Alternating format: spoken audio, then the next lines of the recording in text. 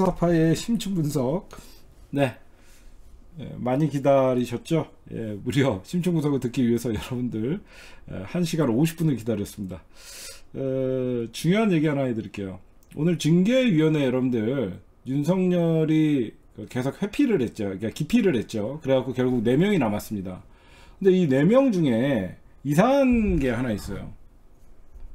원래 신선 저 한동훈의 자리에 한동훈이 물러나고 반부, 반부패 부장이 한동훈이었잖아요. 그 다음에 반부패 부장이 누구였어요? 심재철이었죠. 심재철 검사가 법무부 검찰국장으로 갔어요.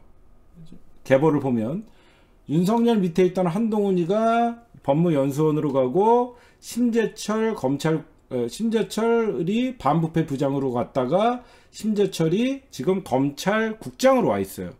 심재철 자리를 누가 차지하고 있냐? 신성식 반부패 부장이 있습니다.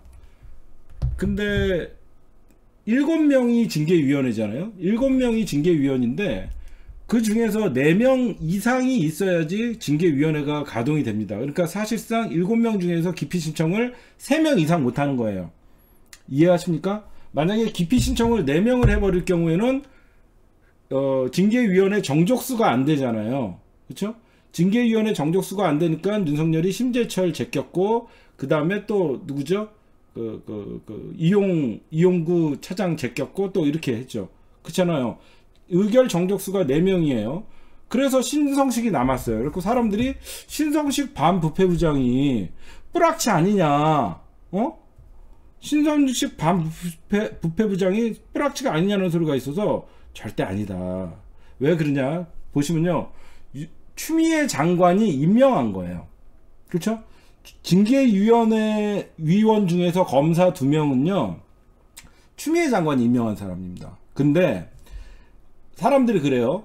검찰국장과 반부패부장은 이번 총장 징계를 앞두고 마치 언론에서는 새롭게 유, 그 지금 조중동이 뭐라고 추미애 장관을 까면서 징계위원회가 부당하다라고 얘기하는데 지금 원래가 여러분들 지난 뭐 징계위원회뿐만 아니라 어, 법무부 징계위원회는 예전부터 그러니까 이번에 새로 심재철이나 신성식을 검사 두 명을 지정할 때 신성식이나 심재철을 추미애 장관이 이번에 새로 임명한 게 아니다. 요거 아셔야 돼요.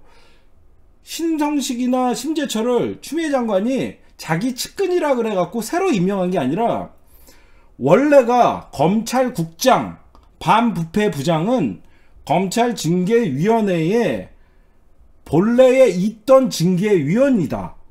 그렇게 하셔야 돼요. 원래 있던 사람들이 원래 참여하는 게 반부패부장 검찰국장이다. 그렇게 하면 좀 이해가 가시죠. 마치 언론에서는 추미애 장관이 새로 자기네 측근들만 심재철, 신성식을 임명한다 그러는데 그게 아니다. 원래 본래 구성되어 있던 징계위원들이다. 그쵸? 검찰국장은 뭐예요? 검찰 인사. 그러니까 심재철 반부패부장이었던 분이 검찰국장으로 갔잖아요. 검찰국장은 검찰 인사의 실무를 보좌하는 직책이에요. 한마디로 추미애 장관이 검찰에 인사를 할 때 옆에서 검찰의 안의 상황을 잘 아니까 어 이, 건 이렇게 되는 거고 이건 이렇게 되는 거다라고 얘기 설명 설명을 해주는 거고 대검 반부패부장은 이전 징계위원회도 참석한 멤버였다. 그럼 심재철이 누구냐? 기억나시죠? 상 그, 그, 상가집에서 지금 제주도에 가 있는 이환우 검사라고 들었죠.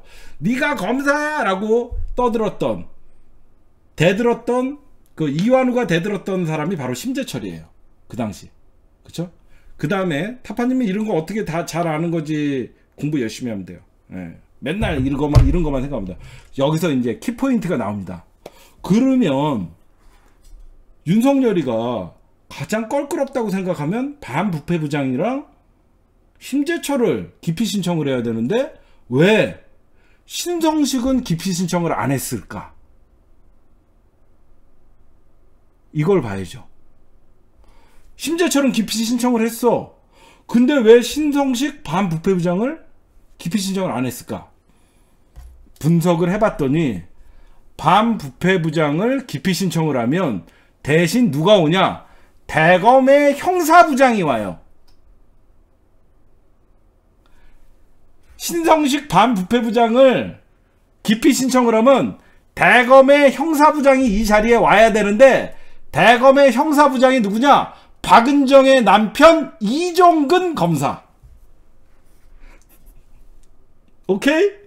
박은정의 남편 이종근 검사가 징계위원회에 참석을 해야 되니까 윤석열으로서는 하, 이종근보다는 이종근보다는 그냥 신성식이 낫지 않냐 그나마. 응?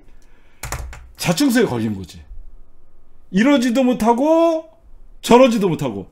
박은정의 지금 법무부 감찰부장을 하- 감찰위원회에서 감찰 업무를 하고 있는 박은정의 남편이 대검의 형사부장이거든. 더 무서운 사람이 오지. 어.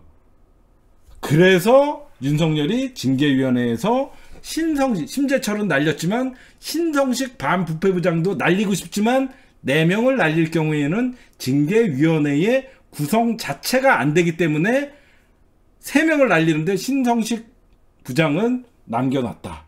바꾸고 싶었지만 바꿨을 경우에는 박은정의 남편 대검 형사부장이 오게 되면 사실상 윤석열은 더 벼랑 끝에 되기 어, 더 어, 자기가 그러니까 조금이나마 기대를 하는데 아예 기대를 할 수 없는 그런 상황이기 때문에 그렇게 된 것이다. 오늘의 심층 분석이었습니다.